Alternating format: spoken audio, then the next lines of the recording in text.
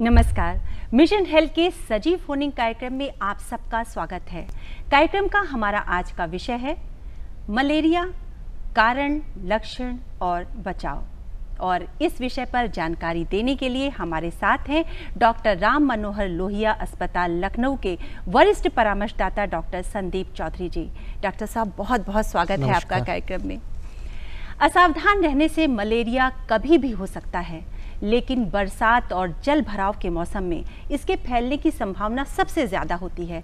तो आज इसी विषय पर हम विस्तार से डॉक्टर साहब से चर्चा करेंगे। और आपके भी अगर कोई प्रश्न है या आप कुछ जानना चाहते हैं तो आप हमें फ़ोन कर सकते हैं। फ़ोन करने के लिए नोट कर लीजिए, आप हमारा फ़ोन नंबर, हमारा फ़ोन नंबर है zero five two two two two zero five seven five six, zero five two two two two eight eight six nine eight zero five two two four zero seven six eight zero two. और आपसे अनुरोध है कि जब भी आप हमें phone करें, अपने टीवी सेट का वॉल्यूम थोड़ा कम रखें ताकि आपकी आवाज़ हम तक अच्छे से पहुँच सके। डॉक्टर साहब, जैसा कि देख रहे हैं कि आज हमारे साथ कुछ हमारे आमंत्रित दर्शक भी हैं तो इनके प्रश्नों को भी हम कार्यक्रम में शामिल करेंगे।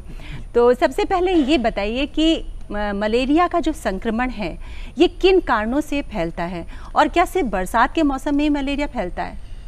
ये पाया गया कि बरसात के मौसम में कुछ ऐसी जगह जैसे घर छत के ऊपर टायर ट्यूब टीन के नारियल डिब्बे इस सब में पानी का अनावश्यक रखा हो जाता है। कूलर में पानी गमलों में पानी तो प्रज, मच्छरों का प्रजनन आम तौर पे इस बरसात के सीज़न में ज़्यादा होता है।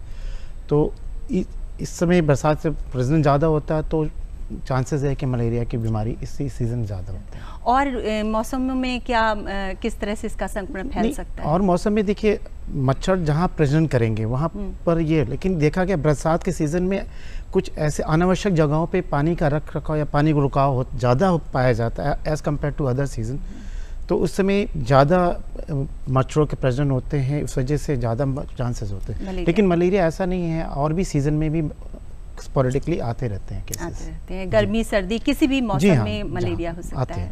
जी। हमारे एक दर्शक हमारे साथ बैठे हुए विपिन जी आप कुछ डॉक्टर साहब से पूछेंगे?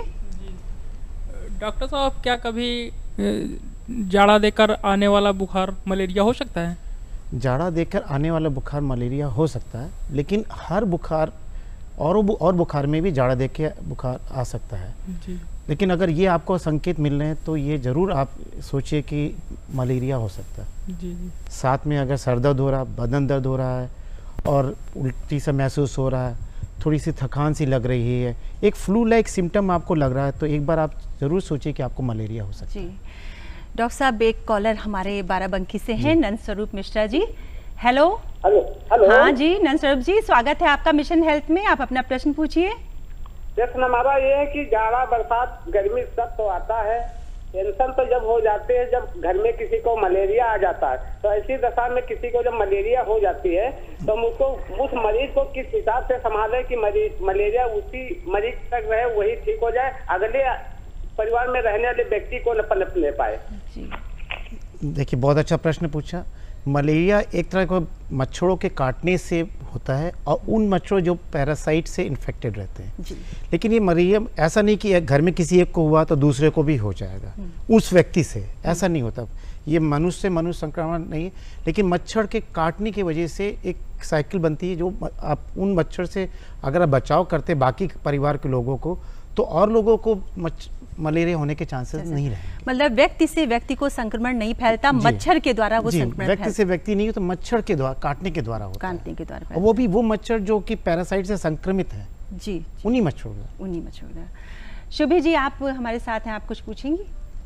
डॉक्टर साहब बड़े बुज़ुर्ग कहते हैं कि ठंडे पानी या बर्फ़ की पट्टी करने से बुखार उतर जाता है और मलेरिया का प्रकोप भी थोड़ा कम हो जाता है। क्या ये बात सच है? बट जब भी कभी बुखार हो तो आप बुखार को कम करना आपका एक तो ठंडे पानी से अगर आप पट्टी करते हैं तो बुखार उतर, उतरता है, ये अच्छी बात है, उतारना भी चाहिए। जब तक कि आप दवा का प्रयोग कर रहे हैं, उससे पहले आपको बुखार से आपको कोई ऐसा मानसिक परेशानी ना हो, इसलिए बुखार तो उतारना चाहिए और ठंडे पानी से करते हैं तो ये सबसे अच्छी बात है।